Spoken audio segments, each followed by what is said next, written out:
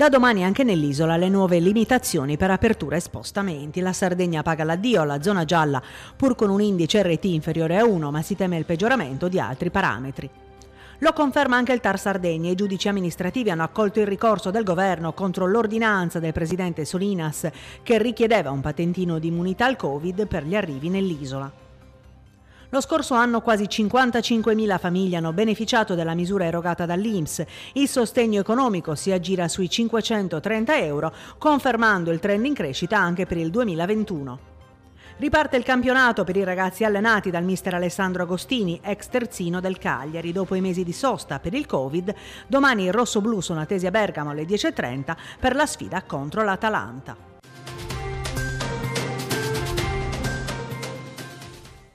Buongiorno, benvenuti a un nuovo appuntamento con le informazioni di Telecosta Smeralda. Allora l'avete sentito, il eh, ministro della salute Roberto Speranza riporta la Sardegna in zona arancione. Questo vuol dire che da domani scatteranno appunto le nuove limitazioni in base proprio ai dati dell'ultimo monitoraggio dell'Istituto Superiore della Sanità. La regione però non ci sta, il presidente Solina si è impegnato a Sassari proprio per inaugurare nuovi posti letto in terapia intensiva, preme per una retromarcia del governo. Era nell'aria che l'isola fosse ad alto rischio, restrizioni dunque già lo si sapeva. Il monitoraggio dell'Istituto Superiore della Sanità non ha fatto che confermare i timori di queste ultime settimane che davano la Sardegna in peggioramento rispetto all'andamento del resto d'Italia. E a nulla è valso l'indice RT pari a 0,95, cioè al di sotto di quella soglia che fa scattare le fasce semaforiche. A sfavore hanno giocato i dati di mercoledì scorso relativi alla settimana dall'11 al 17 gennaio. Il report del Ministero infatti ha rilevato non solo la tendenza all'aumento dei contagi, ma anche la previsione dell'incremento dei ricoveri nelle terapie intensive e altri parametri negativi come l'esplosione di focolai in strutture di residenza assistenziale per anziani, che hanno emesso la sentenza di ritorno alla zona arancione per contenere l'epidemia di Covid-19. Con la nuova stretta perciò rientrano in vigore divieti e limitazioni. Le prime concrete certezze siano riguardo allo stop agli spostamenti tra le regioni e la chiusura ancora di ristoranti e bar, che potranno continuare a lavorare almeno per le prossime due settimane solo con l'asporto o eventualmente con il domicilio. Permane anche il divieto di circolare fuori dal comune, eccezion fatta per le solite motivazioni di urgenza e necessità, è fatta salva la possibilità per quei centri con meno di 5.000 abitanti e comunque nel raggio di 30 km, ma non verso i capoluoghi di provincia. Si profila inoltre la prosecuzione del divieto di ospitare più di due persone a casa, tra amici e parenti, come da ultimo di PCM. Confermato ovviamente il coprifuoco che scatta sempre, a prescindere dal colore della zona, dalle 22 e fino alle 5. Il paradosso di oggi. Mentre inauguriamo nuove posti letto di terapia intensiva, ben 30, ne abbiamo 14 pronti al Binaghi, ci giunge notizia che il Ministero abbia optato per far passare la regione in zona arancione per eh, un eh, superamento della percentuale di ricoveri sui posti letto di terapia intensiva. Noi riteniamo che quel calcolo sia sbagliato, Dietro questi colori ci sono persone, ci sono attività economiche e produttive, abbiamo già cominciato a manifestare da ieri alla struttura del Ministero e allo stesso Ministro tutte le nostre perplessità e la contrarietà assoluta. Speriamo che ci sia nella giornata di oggi una rettifica di questa attribuzione, diversamente dovremo tutelare in altre sedi le ragioni della nostra Sardegna. Noi speriamo di non dover eh, fare ricorsi e che il buonsenso prevalga, perché oggi abbiamo tutti gli indicatori che consentono di tenere la Sardegna in zona gialla e consentono al nostro sistema economico produttivo di continuare il suo lavoro durissimo, già messo veramente sotto stress da queste settimane e questi mesi di pandemia. E questo declassamento rischia di far crollare definitivamente bar, locali, pizzerie e ristoranti. Eh, la Confcommercio addirittura non esclude azioni legali, allora Eleonora Bullegas ha sentito per noi il presidente della FIP, vediamo. Guardi, noi ci svegliamo stamattina come se abbiamo avuto un ladro in casa, troviamo tutto quanto eh, fuori luogo, non sappiamo cosa fare, sappiamo che dentro i nostri frighi ci sono tutte le nostre merci pronte per fare una domenica, è assurdo dover lavorare in questo modo, è assurdo che la, ci venga tolta la dignità del nostro lavoro, siamo stati i primi che hanno chiuso, siamo stati i primi a utilizzare i protocolli, siamo stati i primi che quando ci è stato detto aprite, scendete in piazza, non l'abbiamo fatto per giustizia e per dignità, mobilità e oggi veniamo trattati in questo modo. Come si può fare a lavorare in questo modo? Tra l'altro parrebbe pure che i dati sono sbagliati, fino a ieri dovevamo essere zona bianca, ora veniamo lanciati in zona arancione, zone come la Lombardia che dovevano essere zone rosse diventano zone arancioni, ma come si può lavorare in questo modo? Ma vi chiedo pure a voi com'è possibile essere un cittadino italiano in questa fase?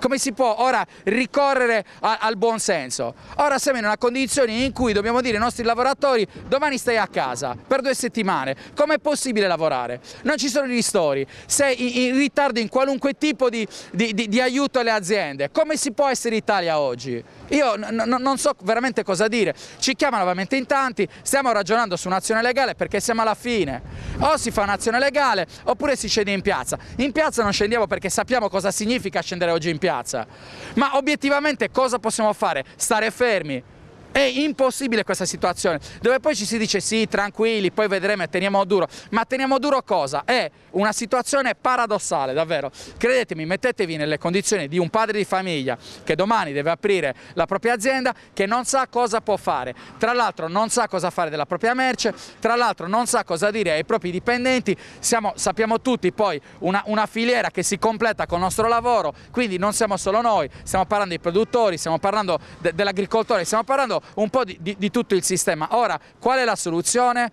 Aspettiamo solo che ce lo vengano a dire. Chiaramente abbiamo chiesto a tutti i nostri organi di, di, di convocarci, di, di, sentirci, di preparare comunque un'azione da fare sul territorio perché siamo veramente al limite e sulle misure proposte dalla Regione per contenere proprio la diffusione da Covid-19 la prima sezione del TAR Sardegna presieduta da Dante D'Alessio ha accolto il ricorso del Governo contro l'ordinanza del Presidente della Regione Cristian Solinas dell'11 settembre scorso con cui si prevedevano test di negatività al Covid per i passeggeri in arrivo nell'isola. In sostanza, in base alla sentenza dei giudici amministrativi, le regioni non possono limitare la libera circolazione delle persone. Eventuali restrizioni infatti possono essere stabilite solo con il DPCM è in condizioni di urgenza straordinaria in modo adeguato e proporzionale rispetto al rischio pandemico. Il Tribunale ha quindi ritenuto valide le motivazioni della Presidenza del Consiglio dei Ministri e del Ministero della Salute che avevano proprio chiesto l'annullamento del provvedimento della Regione con il quale si stabilivano ulteriori misure straordinarie urgenti di contrasto e prevenzione della diffusione del Covid-19. Adesso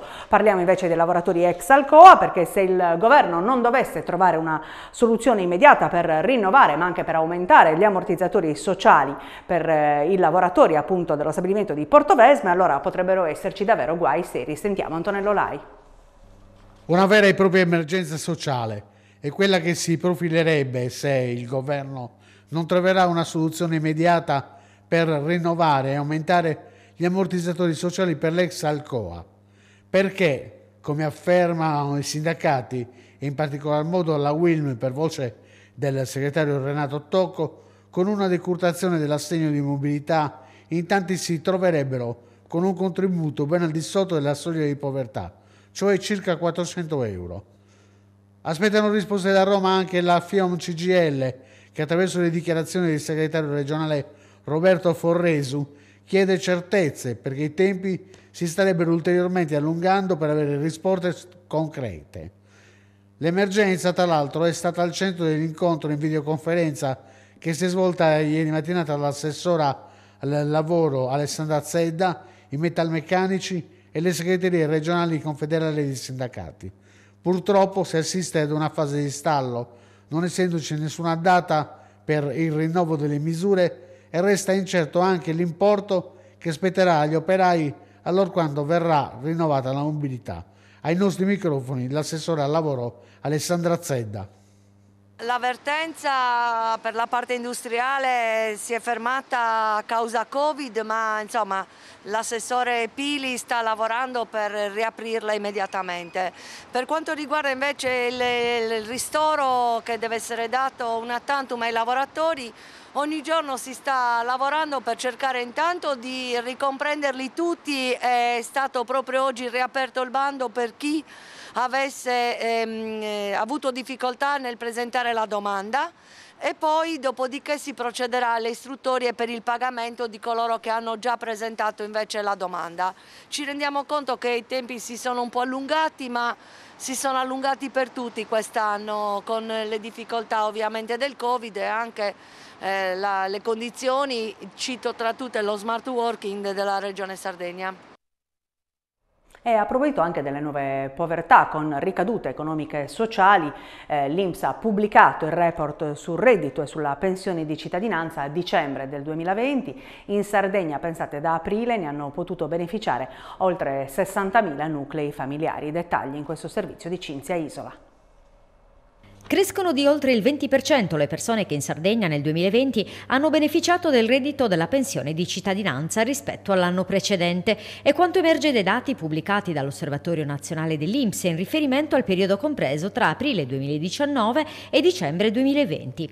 A livello nazionale al mese di dicembre 2020 si registrano 1,25 milioni di nuclei familiari beneficiari con 2,9 milioni di persone coinvolte per un incremento del 3,3% sul mese mese precedente. L'importo medio corrisposto ammonta in media a 528 euro. Il 61% dei nuclei percettori, con il 65% delle persone coinvolte, risiede al sud o nelle isole, con un importo medio superiore del 7% sulla media nazionale.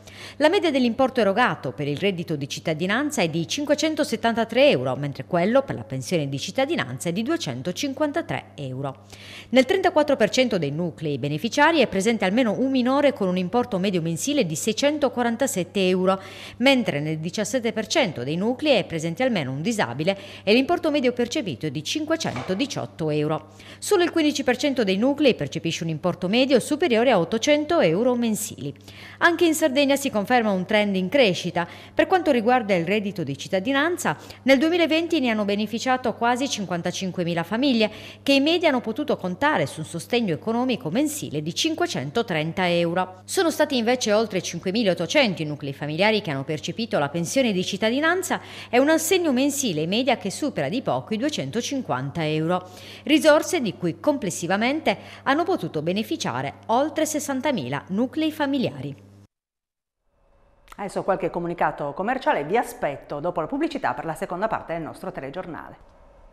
Torniamo in studio, parliamo appunto di lavoratori autonomi perché oggi sarà pubblicato l'avviso a sportello per la concessione di un'indennità una tantum per gli operatori della filiera turistica e del commercio. Nel corso dell'ultima seduta infatti la giunta regionale su proposta dell'assessore del lavoro Alessandra Zedda ha approvato la delibera che integra il bando precedente ampliando anche la platea dei beneficiari. Infatti il presidente della regione Cristian Solina si è tenuto a precisare che nessuno è stato escluso, l'intento ha sottolineato in una nota è quello di rendere tutti partecipi per porre le basi della ripresa economica. Considerato il protrarsi della crisi e la necessità di mettere subito a disposizione dei lavoratori le risorse stanziate, abbiamo accelerato le procedure necessarie per la pubblicazione del nuovo bando. Le risorse complessive ammontano a 7 milioni e 300 mila euro a valere su fondi regionali, l'indennità compensativa per il mancato reddito è di 7 mila euro per ciascun beneficiario. Il bando è rivolto agli operatori, lavoratori autonomi con o senza partita IVA, ma anche organismi, agenti e scuole professionistiche operanti in Sardegna. E a proposito di risorse c'è anche una denuncia della Commissione regionale per le pari opportunità, dice sempre appunto poche risorse nel Recovery Fund, eh, questo è un argomento che abbiamo già trattato perché la Commissione regionale punta appunto il dito contro il governo nonostante insomma, le ripetute sollecitazioni. Vediamo Cinzia Isola. Sebbene al centro delle politiche europee, l'Italia rischia di restare indietro ancora una volta e di non centrare gli obiettivi fissati per la realizzazione della parità di genere. Per fronteggiare e contrastarla sono state individuate solo il 2,3% delle risorse previste nel Piano Nazionale di Ripresa e Resilienza. Di questi appena 400 milioni di euro sono destinati all'imprenditoria femminile. Risorse troppo limitate per la Commissione regionale Pari Opportunità che ha espresso forte preoccupazione in relazione ai dati diffusi rispetto agli stanziamenti previsti dal Recovery Fund per il mondo femminile femminile. Questo nonostante le ripetute sollecitazioni di tutte le organizzazioni femminili che hanno chiesto al governo interventi concreti e strutturali affinché sia ridefinito il piano. L'Italia, hanno sottolineato le consigliere di parità, è ancora all'ultimo posto nell'Unione Europea per quanto riguarda l'occupazione femminile, solo il 49% contro il 62% della media europea. Percentuali che fanno scivolare il nostro paese tra i più arretrati del vecchio continente. L'indifferenza e la leggerezza con cui è trattato il tema all'interno del piano di ripresa e resilienza nazionale denunciano non è giustificabile. La Sardegna, spiegano le commissarie, in quanto ad occupazione femminile non fa eccezione. Nel 2019 la percentuale di donne impegnate nel lavoro è del 47,3% e l'isola, pur risultando tra le regioni più virtuose tra quelle del sud, presenta ancora problemi strutturali di sistema. Il divario retributivo di genere, ovvero la differenza tra il salario annuale medio percepito dalle donne e quello percepito dagli uomini, il cosiddetto soffitto di cristallo, ovvero la difficoltà delle donne a raggiungere avanzamenti di carriera o posizioni di comando a causa di discriminazione di tipo sessuale, e ancora la scarsa attenzione riservata alle politiche di conciliazione che consentono alle donne di potersi dedicare alla famiglia senza dover rinunciare al diritto al lavoro. Senza contare, ricordano le commissarie, che le lavoratrici sono per la maggior parte dipendenti che raggiungono con una stabilità lavorativa solo intorno ai 45 anni. La pandemia ha peggiorato notevolmente la condizione sociale, soprattutto a carico delle donne, che ancora una volta pagano il prezzo più alto. Per tutte queste ragioni è necessaria un'azione diretta, con fondi mirati a stimolare l'occupazione e l'imprenditoria femminile, così da raggiungere gli obiettivi indicati nella strategia europea per la parità di genere. Adesso parliamo invece di spesa solidale, anzi di spesa sospesa perché si allarga la rete eh, nei mercati di campagna amica del sud Sardegna dove poter appunto fare la spesa contadina. Vediamo. Complice il particolare momento, eh, riparte con ancora più attenzione eh, la spesa sospesa nei mercati di campagna amica. Eh, eh, sì, è ripartita, l'abbiamo rafforzata, purtroppo la stiamo rafforzando di settimana in settimana perché questa crisi si fa sentire sempre in maniera sempre più pesante. E quindi una comunità come quella di, di Campagna Amica non può restare indifferente. Attraverso una rete che vede coinvolte diverse associazioni carittevoli stiamo portando avanti questa iniziativa che si chiama La Spesa Sospesa che è mutuata poi dalla, dal caffè sospeso campano dove uno acquista, acquista, un caffè e ne lascia uno pagato per il prossimo, per chi arriva dopo e che magari non può permetterselo. Lo stesso facciamo qui, eh, le persone, i nostri clienti, che sono persone eh, sensibili anche a quelli che sono gli aspetti eh, sociali, eh, acquistano la spesa per casa e qualcosa la lasciano anche qui per le famiglie che purtroppo sono sempre di più hanno delle difficoltà economiche. È vero che spesso la solidarietà o anche iniziative benefiche si manifestano nel silenzio, però stante anche la scelta di rafforzare la spesa sospesa nei mercati appunto di campagna amica, come sta andando questa iniziativa? No, l'iniziativa sta andando, sta andando, bene, stanno andando bene nei, nei diversi mercati. Dobbiamo dire anche che ci sono da una parte delle associazioni che ci cercano perché hanno sempre più richieste, ma dall'altra sono anche gli stessi clienti in diversi mercati che ci chiedono di attivare la spesa sospesa. Davvero c'è il cuore sardo e, è forte e si fa sentire, perché lo stiamo facendo, è un'iniziativa in tutta Italia, lo stiamo facendo in tutta la regione qua in Sardegna e sta andando davvero molto bene. Siamo appunto sul sociale perché al via la selezione per partecipare al servizio civile universale, un'importante occasione di formazione e crescita personale e professionale per i giovani. Sentiamo Maurizio Melis. Al via la selezione del servizio civile universale rivolto alle associazioni che operano in ambito sociale. Il progetto sotto la supervisione del Dipartimento per le politiche giovanili e della Presidenza del Consiglio dei Ministri è una scelta volontaria di dedicare alcuni mesi della propria vita al servizio di difesa non armata e non violenta della patria, alla pace tra i popoli e alla promozione dei valori fondamentali della Repubblica Italiana, attraverso azioni per la comunità e il territorio. Il Consorzio Solidarietà dal 2002 si occupa della gestione di progetti di servizio civile, che adesso è diventato universale, il pronipote dell'obiezione di coscienza e che dà la possibilità ai ragazzi che vanno dai 18 ai 28 anni di fare un anno di volontariato eh, a servizio della patria eh, per la promozione dei, dei nostri valori, della, della nostra Repubblica. Il servizio civile rappresenta un'importante occasione di formazione e crescita personale e professionale per i giovani, che sono un'indispensabile e vitale risorsa per il progetto culturale, sociale ed economico del Paese. Entri a contatto con situazioni che mh, non tutti eh, hanno la possibilità di, mh, di, vivere e vedere. Ti puoi mettere in gioco, eh, ti senti utile e soprattutto a me è servito per capire cosa volevo fare da grande. Circa il 20% dei ragazzi che hanno fatto il servizio civile con noi poi continuano a stare nelle cooperative che li hanno accolti. Quindi è anche una buona occasione per mettersi in gioco anche dal punto di vista professionale e lavorativo. Interessanti progetti di solidarietà consorzio, 21 posti disponibili in tre progetti che accoglieranno i volontari in ambienti differenti. Per ulteriori informazioni e per scaricare il bando consultare il sito www.consolidarietà.it. I sardi emigrati all'estero raccontano la pandemia, un progetto della FILEF, ci dice tutto Alessandra Dari.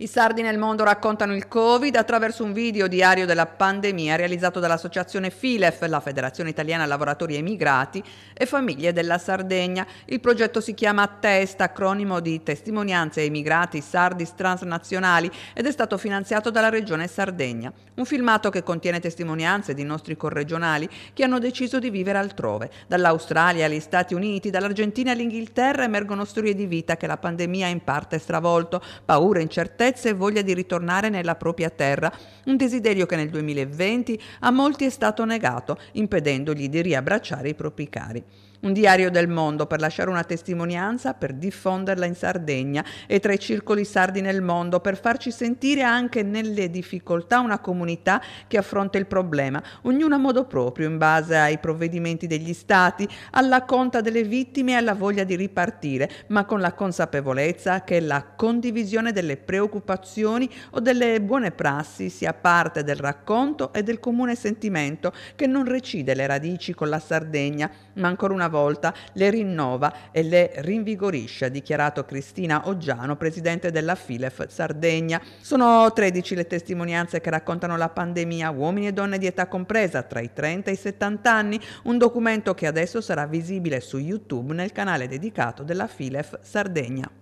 In questo momento sto facendo la fila in un supermarket, sono qui a lavoro, mi sono spostato a fare la fila e questa è la situazione c'è qua.